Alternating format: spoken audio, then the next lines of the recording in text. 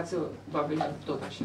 Adică în momentul de abandon, spune Marius, când abandonăm, știți, că în momentul în care te-a abandonat, apare divinul. Numai în momentul de abandon se întâmplă miracol, știți? Când te abandonezi total. Și în momentul în care uh, prietenul s-a abandonat, piatra s-a... și el a putut să se salveze, pentru că s-a abandonat. Și asta trebuie să facem. Să ne abandonăm așa în derivă, cum se spune, în mâna lui Dumnezeu. Pentru că știe El ce ne trebuie. Să te lași dus, purtat. Pentru că El știe ce trebuie. Dacă e în tine, El știe ce trebuie întotdeauna. Despre asta. Accept ce vine din față și direcția care ți dă El. Te-a dus în stânga, te-a dus în stânga, te-a dus în dreapta. Ce vor oamenii, unde vor oamenii, acolo. De ce mai bună meserie în lume este meseria de slujitor. Este cea mai frumoasă și cea mai bună pentru că uh, omul care, este, care slujește, el nu se poate mândri, nu poate să aibă ego, se, se uh, mulțumește cu puțin cu, cu ceea ce are. Este un film pe care l-am pus pe Facebook, doar titlul nu prea se găsește pe net, probabil că s-ar putea găsi pe torenți.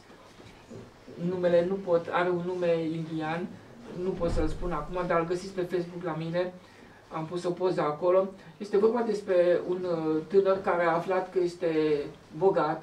Uh, tatălui uh, i-a lăsat moștenire o sumă de zeci de milioane de dolari și mai avea un frate care avea acea bogăție până atunci și ca să-și păstreze bogăția a fost în stare să ucidă pe cineva, iar când judecător, avocatul i-a dat acel testament care îi dădea posibilitatea să fie foarte, foarte bogat, el a aruncat testamentul. Deci, uh, el a refuzat această viață de bogăție și de, pentru că asta însemna pentru el uh, suferință, pentru că omul devine nemilos când are mai mult decât are nevoie. El era fericit mai atât cât avea nevoie și era un om care nici măcar nu avea carburator la, avea o triciclete la cele ale lor, uh, motorete la cele, nu știu cum se, se numesc, Uh, cu care merg prin uh, India și uh, era un fel de taximetrist, trăia din lucrul acesta, dar se mulțumea cu ceea ce are. Că cel mai fericit om din lume este cel care se mulțumește cu puțin, simplu și modest. Nu ai nevoie de mai mult.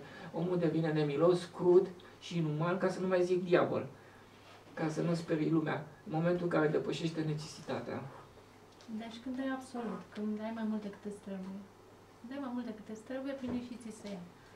Și în final, oricum, când plecăm, ați văzut că nu luăm nimic. Adică chiar asta se întâmplă. Asta e și marea lecție, că nu e nimic. Și cu cât ești mai în puțin, cu atât ai mai bine. Domnul Ilie Cioară, dacă vă recomand să citiți cărțile, sunt toate pe net, în gratuite. Am impresia că sunt vreo 5-6 pe, pe net. Nu știu câte a scris până la urmă. Uh, explica ce s-a întâmplat cu părinții lui. Uh, când au venit comisarii comuniști, uh, părinții lui i-au întâmpinat și comisarul a zis uh, averea dumneavoastră este rechiziționată de către stat în momentul acesta. La care tatălui a zis, bine luați. Deci, trei cuvinte, două cuvinte, acelea au stabilit uh, lumea, poziția pe care urma să o aibă în viața dincolo. Deci așa de important este comportamentul nostru. Se stabilește viața și moartea în lucrurile cele mai banale de zi cu zi cearta cu cel apropiat, cearta cu altcineva, stabilește viața și moartea. Pe când mama lui a purtat ură pe, pe tatălui o viață întreagă și l-a tocănit și l-a criticat tot timpul. Cum ai putut? Ea averea, de ce ai, nu ai luptat pentru ea? Și mai departe. Când au plecat din lumea aceasta, uh, el a vrut să vadă ce s-a întâmplat în lumea de dincolo cu ei. Tatălui era undeva foarte sus, nici era greu să-și ajungă la el. Deci așa de sus te, te duce abandonarea de sine desăvârșită.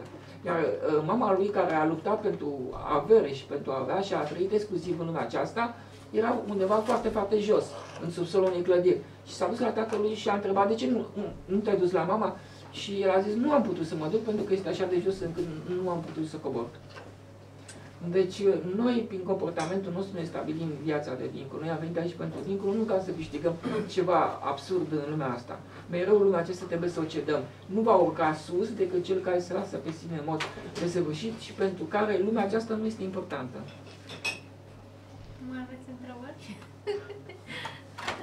Credeți că există forțe non-terestre care ne lasă să evoluăm atunci când noi mai, e o discuție care trece poate un pic în planul de science fiction. De știți? Nu. Dacă ați citit cărțile mele, am descris, am avut... Uh, așa am și ajuns să scriu cărți, că prima dată m-am dus la uh, domnul uh, Dan Farcaș, care este președintele UFO România, și am vrut să-i spun niște experiențe pe acesta cu ființe extraterestre și cu OZN-uri. Și domnul Dulcan, Constantin Dulcan, urma să scrie, amândoi vreau să scrie o carte despre experiențele astea ale mele, pentru că nu știam să scriu, că nu m-am gândit niciodată să scriu cărți. Le-am dat doar niște foi cu experiențe, le-am făcut niște schițe și să discută el despre ele. Domnul Dulcan era pe partea de uh, moarte clinică, că a, a avut asemenea situații și putea să povestească. Și uh, domnul Farcaș pe OZN-uri. Și, um, într-adevăr, am avut o experiență cu ființe extraterestre, cele pe care le cunosc eu erau extrem de bune și blânde. Chiar îmi ziceam, mi-ar place să văd un duhovnic așa de blând și de îngăduitor cum erau ele.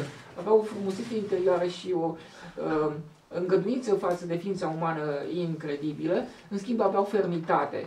Și fermitatea s-a manifestat că în momentul în care eu am vrut să mă uit mai bine la cum arată, sunt niște ființe cam de 1,52 m înălțime, subțirele, aveau un combinezon verde pe ele, capul puțin teșit, cum îl are uh, Akhenaten, îl avea regele acela din Egipt uh, care a înființat uh, monoteismul, de fapt, prima dată când înclinarea la zeul soare era așa și ochii sunt lungugheți așa ca la chinezi, buzele sunt subțiri și nasul este mic, este cam jumătate din nasul nostru, este mai mic.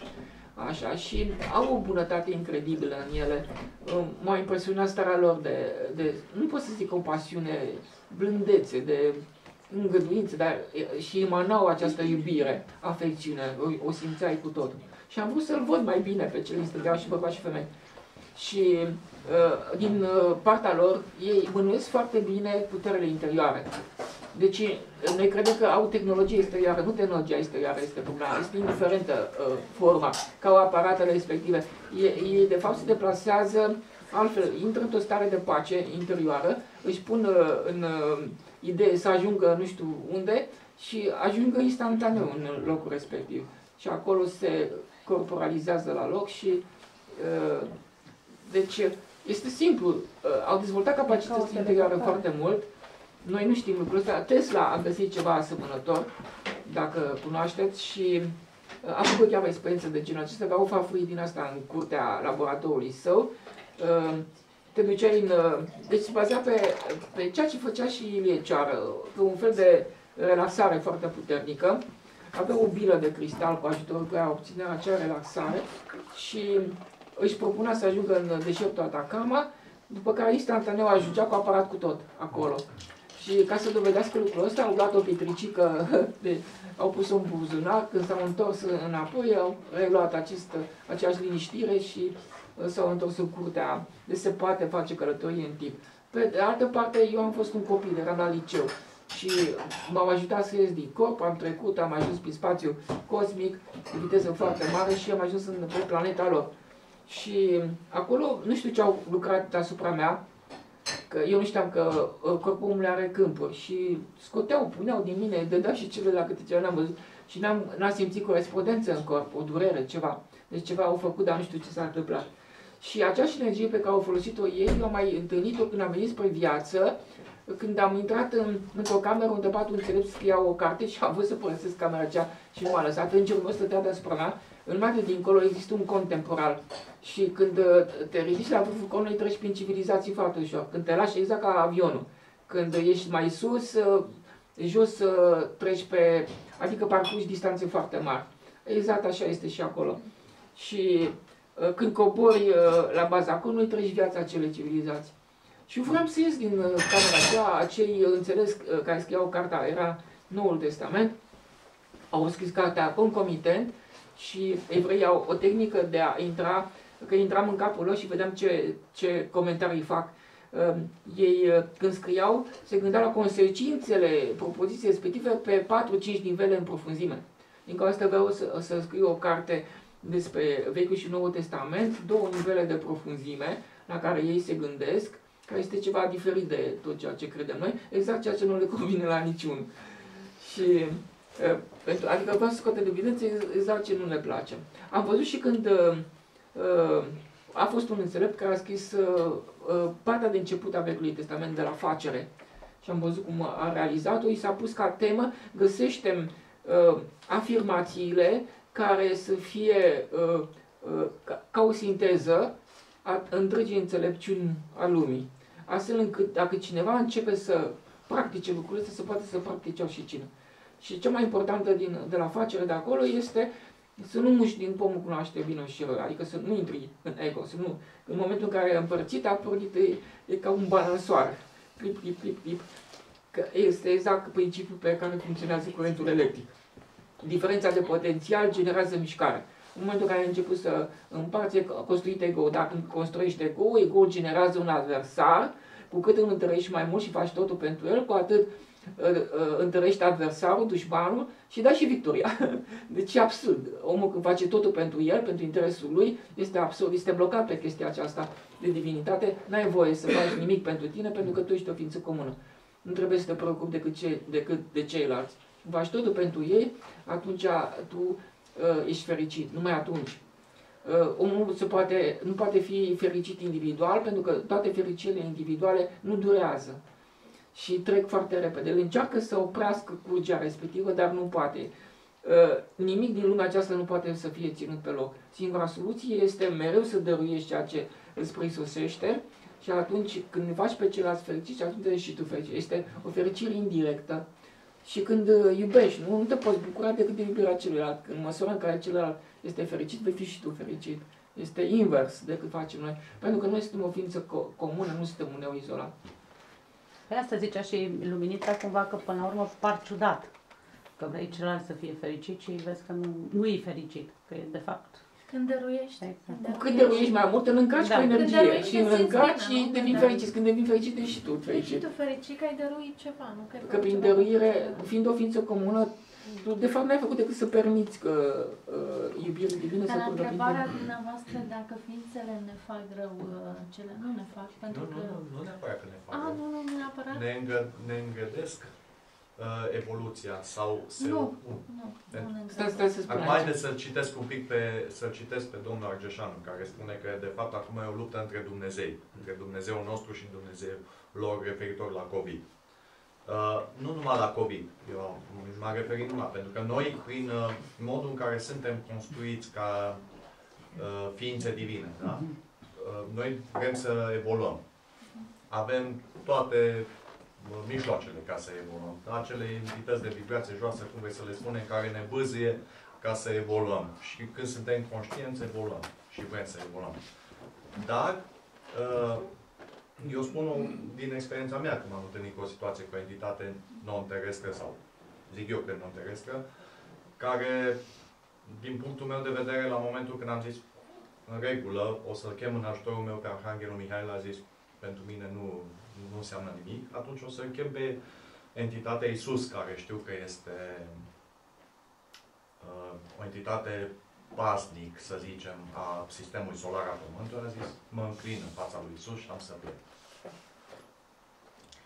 De ce spun asta? Pentru că noi suntem, vedeți, noi suntem creatorii propriilor proiecții și când spune uh, se bat Dumnezeu, cum a spus uh, domnul Argeșanu, adică Dumnezeu, Dumnezeu care e în toate, de fapt, este ego-ul nostru care se bate în el. Uh, Ei între Se ei, bate știți de pe ce? însuși. Pentru că noi creăm, creăm planuri de energie joasă, de energie subtilă, da?